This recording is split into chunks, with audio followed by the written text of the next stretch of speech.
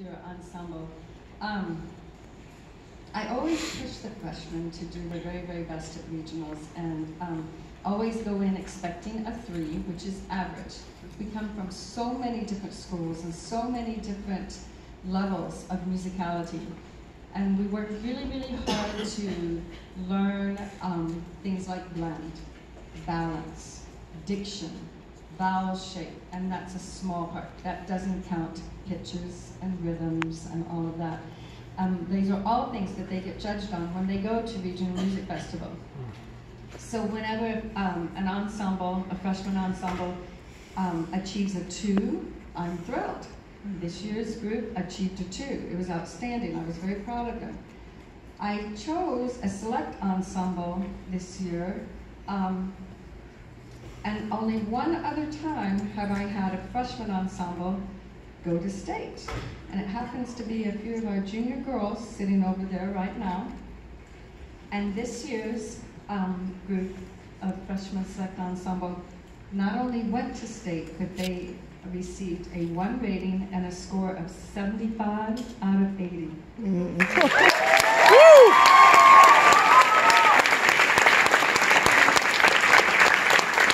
large part of the show, really. No. No, it's not. Yes, it is. It's all of them.